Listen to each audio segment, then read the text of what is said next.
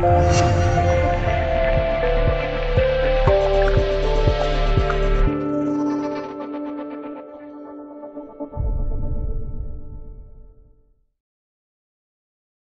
冯玄一在美日谈判过程中，日本谈判队伍中的二十八岁年轻人吉川猛夫可不是谈判专家，他的任务也不是谈判，他的真实身份是间谍。此次美国之行的目的是为刺探美军情报。吉川猛夫毕业于中野间谍学校，这是一家专门训练高级间谍的专门学校。二战期间，该校为日本培养了数以万计的间谍人员。吉川猛夫为人机警，是该校的优秀毕业生。日本谈判队伍到了美国之后，吉川猛夫便悄然离开了。他转乘飞机前往夏威夷执行特别使命。为什么要到夏威夷呢？很简单，当时的美国太平洋舰队就驻扎在夏威夷，舰队的司令部设在夏威夷的珍珠港里。在夏威夷，吉川猛夫化名为森村正。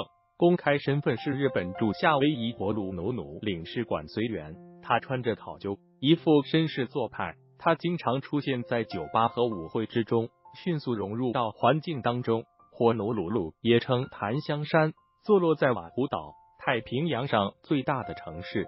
该岛是夏威夷群岛当中第三大岛屿，是美国夏威夷州的政治、经济、文化和交通中心。吉川猛夫不可能在美国人的地盘上肆意妄为，那就不叫间谍了。他需要进行伪装。当时他选择一个叫凯西的美国女大学生作为目标，他以东方人特有的优雅风趣以及伪装出来的高贵气派，迅速迷住了这个漂亮姑娘。他假意追求这个女生，并且很快俘获了他的芳心，取得了他的信任。随后，他驾着汽车。带着他在岛上四处旅行，每到一处，他都要帮凯西拍照，用这个美国女孩作为幌子，拍摄了大量夏威夷的地形、交通、飞机、军舰等军事资料。单纯的凯西一直以为这个日本人是在拍他，其实他哪里知道，身边的这个帅气绅士其实是一个危险的间谍。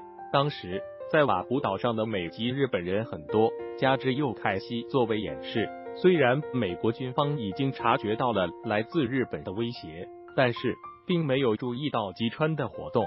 吉川和凯西完全像是一对恋人一样，在徜徉在夏威夷的浪漫阳光之中。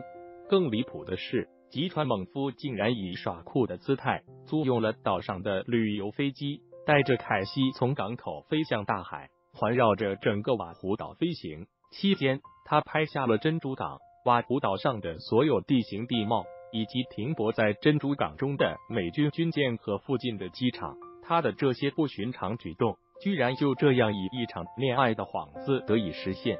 不得不说，吉川猛夫是一名敬业的间谍，是一名有着精湛伪装技巧的间谍。为了弄清珍珠港港湾入口处有无妨前往，吉川甚至冒着暴露的危险，冒着被美军枪杀的危险。竟化妆成当地的垂钓者闯入禁区，潜入海里进行探视。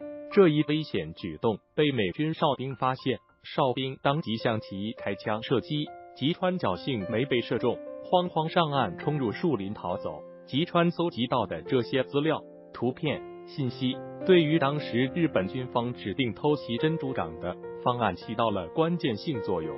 这些照片很快汇集到日本海军军令部。成为日本海军军令部制定偷袭珍珠港的基本材料。日本海军军令部据此制定出偷袭珍珠港的 Z 计划。吉川猛夫的掩蔽功夫做得非常到位，自始至终都没有被美军发现。当美日战争爆发，也就是一九四一年的十二月七日，吉川猛夫赶在美军到来之前，在自己的办公室里把搜集来的全部情报都通统烧毁。美国士兵冲入领事馆。将他与普通的驻外人员一起作为人质扣押。后来，日美两国交换外交官时，吉川猛夫被释放回国，受到了日本军方的嘉奖。